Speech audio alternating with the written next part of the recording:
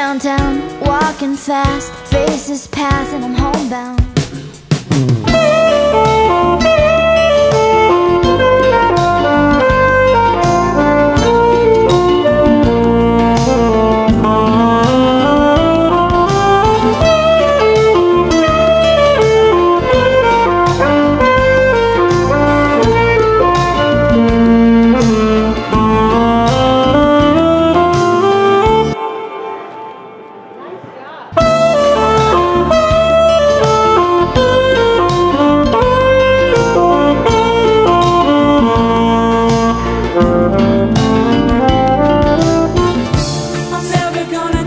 again.